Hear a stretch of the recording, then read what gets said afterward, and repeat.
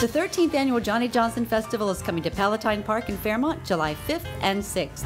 Saturday's lineup includes Greg Piccolo, founding member of Roomful of Blues, and his band Heavy Juice, Daryl Davis, Roddy Barnes, KWT Blues Band, Brazz Evans, Bill Stalnaker Night Moves, and the All Star Jam. Starting time is 12 p.m.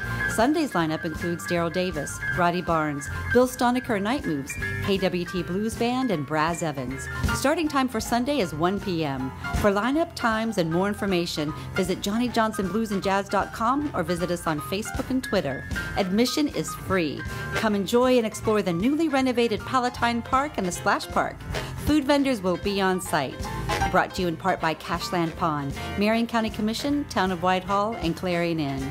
The Johnnie Johnson Festival, Saturday, July 5th and Sunday, July 6th. Admission is free.